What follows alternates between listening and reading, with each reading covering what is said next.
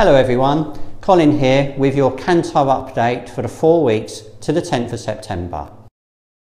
Berries was level on the year for the four weeks. This was helped by our customers buying berries more often.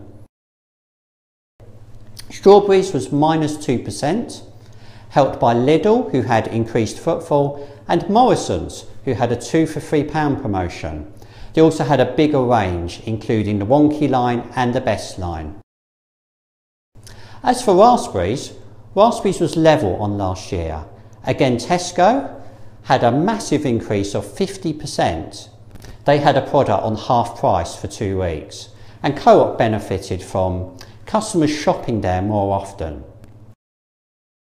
So let's look at blueberries. Again on blueberries, Tesco did particularly well, especially from their large pack Rosedene line, and Iceland benefited from more customers and increased volume per trip. On Blackberry, the sales were down by 4%. Morrison's again were a big winner with a 2 for £3 promotion and the Co-op had some larger pack sizes. Finally, cherries, as we come to the end of the UK season, saw increased sales of 121%, with Aldi and Lidl increasing from a low base, benefiting from increased footfall and also a bigger range. So I hope you've enjoyed your Kantar update for the last four weeks and we'll check in again next month. Bye bye for now.